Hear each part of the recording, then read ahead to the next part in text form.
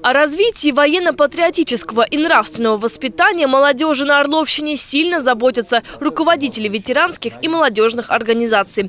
В рамках форума «Гражданский диалог» прошел круглый стол, организованный Департаментом внутренней политики Орловской области. Наши великие события, которые формировали поколение наших отцов, дедов, потом нас, и мы, в свою очередь, должны передать их своим детям – они являются тем стержнем, тем той основой, которая э, отделяет гражданина от негражданина. Патриотизм – это поступки, а не слова, считают власти нашей области. Поэтому они активно поддерживают достойные инициативы ветеранских и поисковых организаций, которых и представили к награде за успехи в этом году. Это поисковая организация «Взлет», военно-исторический клуб «Дороги войны», поисковое объединение «Костер» и другие.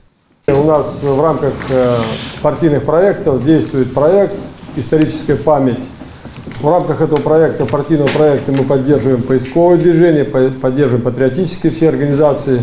В частности, вахту памяти, вы знаете, постоянно работаем с поисковиками. Патриотизм у нас в крови.